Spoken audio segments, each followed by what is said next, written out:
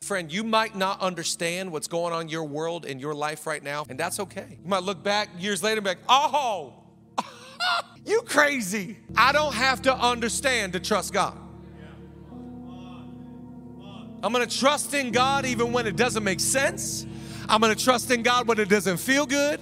I'm gonna trust in God when I'm in pain. I'm gonna trust in God on my lowest moments. I'm gonna trust in God in my highest moments. Come on, Zoe Church, give Him a praise if you're willing to put all your faith, all your confidence, all your belief in a bigger man. Don't you trust in a political leader. Don't you trust in a person. A person will break your heart. A human is as wicked and evil as you are. Don't you trust people. Trust God. That's why the Bible says, Proverbs 3, put on the screen, trust in the Lord with all your heart. Lean not on your own understanding. In all your ways, acknowledge Him. He will direct your path, He will establish your thoughts.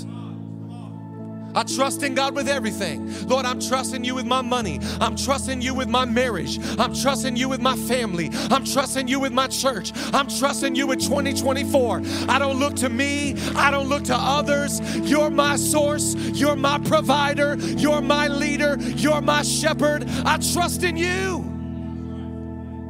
That's what got, that's what got Job through. Job just trusting God. I'm just trusting God. In fact, look here on this scripture. I just love this. Psalm 139 Such knowledge is too wonderful for me, too great for me to understand. I don't understand. I don't understand. Job's sitting here going, I, I, I didn't do anything. I didn't say anything. I didn't go anywhere. I didn't.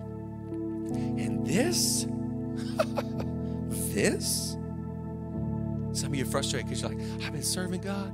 I've been trying my best, Pastor. I've been really trying. And this, I get it if it's for others, but like um, in church, um, I went to two of the five Zooms at 6 a.m. The heck is this? I fasted for three days. This?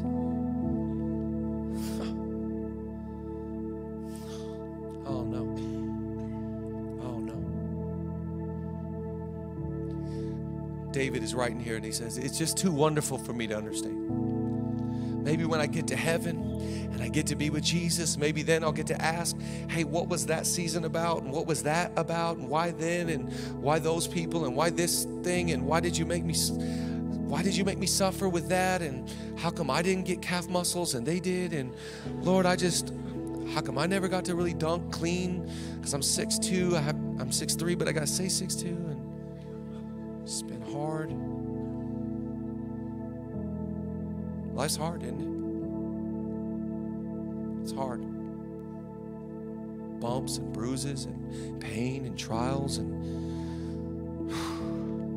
and we come into church and we play like it's not, don't we?